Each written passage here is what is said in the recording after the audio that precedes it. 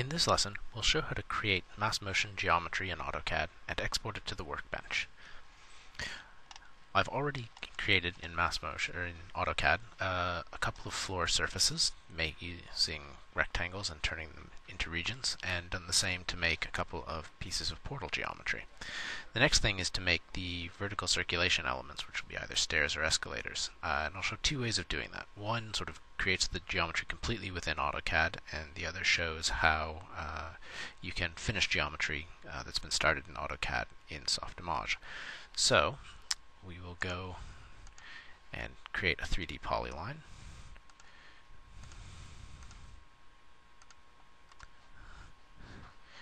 And we'll create another 3D polyline over here. Now, we're then going to extrude these objects and we'll just sort of eyeball a stair there and we'll do the same here.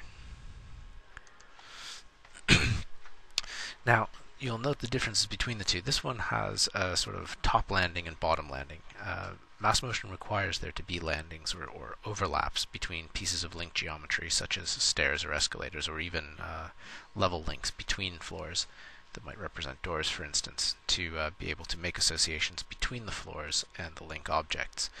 Now, this piece doesn't have them, and what we'll, I'll show is how to um, how to create those overlaps with this piece of geometry once it comes into the MassMotion workbench. So, to get it into the MassMotion workbench, we go to the export and export an FBX, and I'm just going to overwrite this one which was made before, and that's fine. We'll just uh, we'll take all the all the objects in the scene. And then we will switch to the Softimage workbench, create a new scene, and we will import geometry from a file.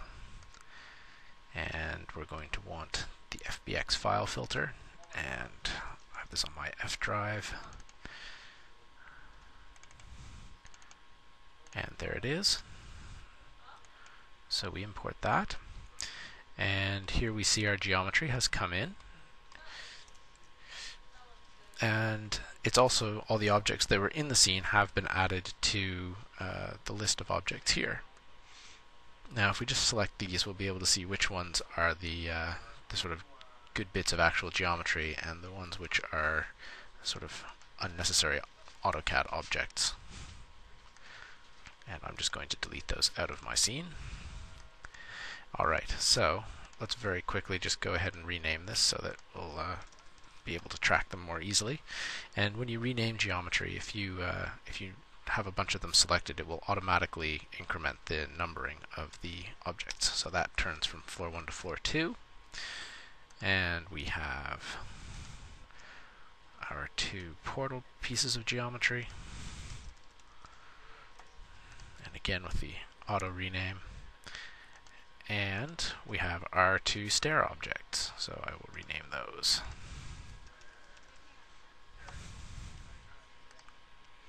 Okay, and let's just go ahead and start assigning the types, remembering to do the floor types first. And now we can do our two portals. And that's working fine. And now we'll try and assign our two stairs. One of these will work and one of them will not. So, it's telling us that we have the wrong number of vertices. The geometry should have, escalator or stair geometry should have 8. So, that's fine. This one's been created properly because it already has the overlaps. This one hasn't, so we're going to have to do some modifications to it. The quickest way to do this is to select the object, and then either by pointing here at the edge select mode or by pressing the E key, you will go into the edge select mode. And what we're going to do here is just duplicate this edge, and that's most easily done by pressing Control D. It doesn't look like much has happened, but if we move that object, we can see that another piece of geometry has been created there. And we're going to press the E key again to get to edge select mode and go over to this far side. And we will duplicate that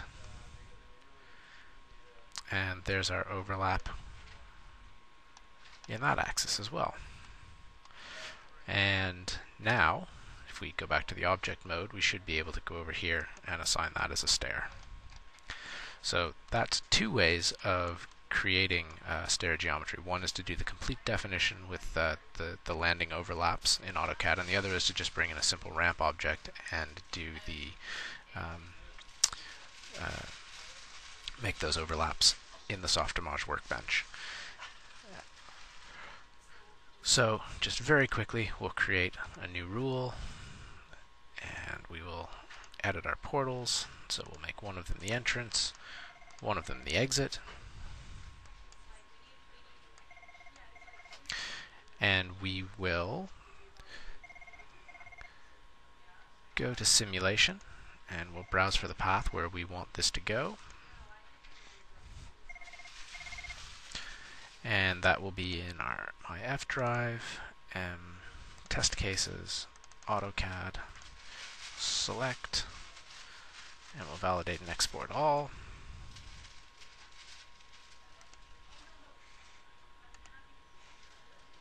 And now we will open that project.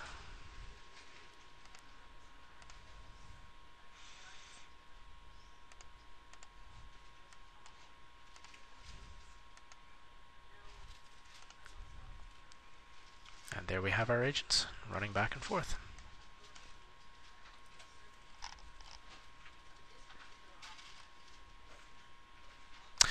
And that's it for this lesson. Thank you.